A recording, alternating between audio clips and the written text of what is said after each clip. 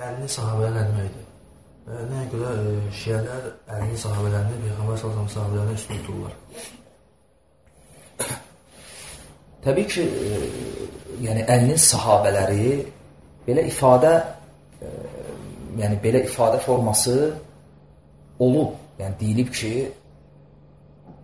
məsələn, əlinin şiyələri, həmsinin deyilib Muaviyənin şiyələri, təbii ki, sahabələr arasında e, müharibə Əli radiyallahu anhın xilafətində olub. Ümumiyyətlə, e, Abu Bakır, Ömər və Osman radiyallahu anhın xilafətlərində müsəlmanların müsəlmanlarla savaşı olmuyor.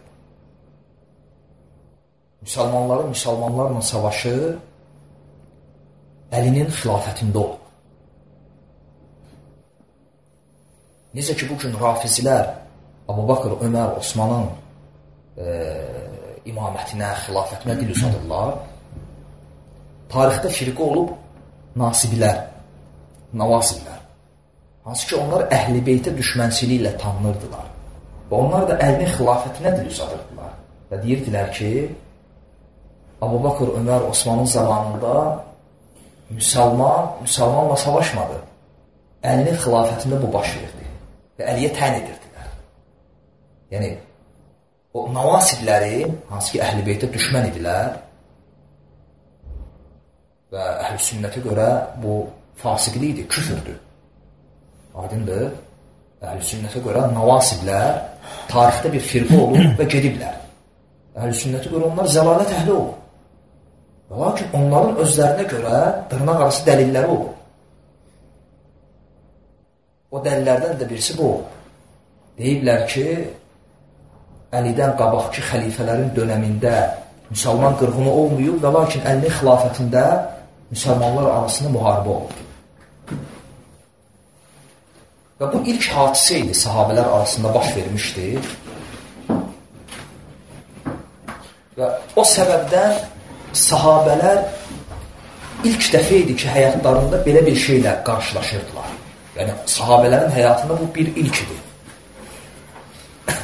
Və sahabələr üç şeyə bölünmüşdülər. Bir qismi əlinin tərəfində idi və bir qismi Muaviyənin və təbii ki, bunlar çox az idi. Yəni, ümumən toplasaq 30-40 nəfəri keçməzdilər. Aydındır? Yəni, e, o fitnədə iştirak edən sahabələri sayını götürsək, 30-40 nəfəri keçmirdilər. Onlar hamısı orduda tabiyinlər idi. Sahabələr az idi. Bir qismi Muaviyənin və bir qismi Əlinin tərəfində idi və əksər sahabələr o dövrdə sağ olan heç bir tərəfdə deyildilər. Onlar kənarda idi. Və Peyğəmbər sallallahu aleyhi və səlləm demişdi ki, e, e, yəni Abu Zər haqqa daha yaxın tayfada olacaq. Və Abu Zəri haqdan uzaq tayfa öldürəcək. Və məlumdur ki, həmin döyüşlərdə Abu Zər əlinin qoşununda idi. Və Peyğəmbər sallallahu aleyhi və səlləm əlinin qoşununu nə adlandırdı? Yox, haqqa daha yaxın. Çünki haqq o idi ki, gərək fitnədən uzaq durasan. Aydındır. Çünki əksər sahabələr o dövrdə e, fitnədən uzaq idilər. Və e, o döyüşlərdə iştirak eləmirdilər. Və Peyğəmbər sallallahu aleyhi və səlləmin fitnələr barədə dediyi hədisləri xatırlamışdılar.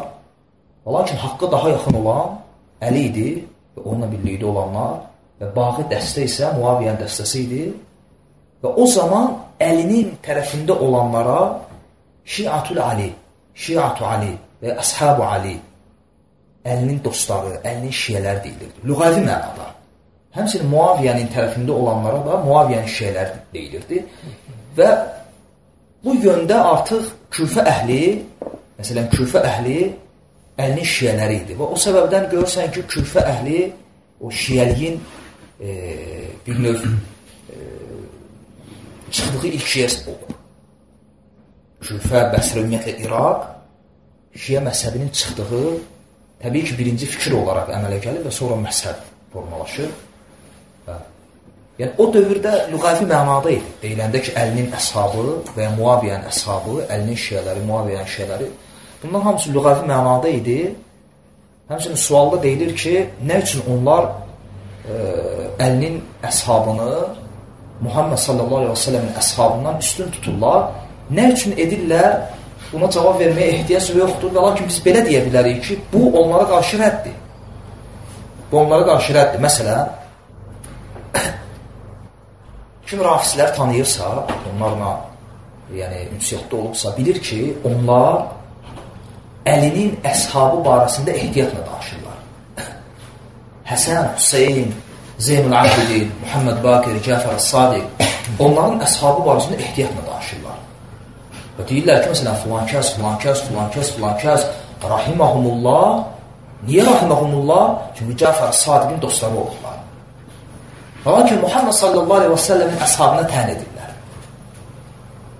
Və onlara qarşı rədd əslində.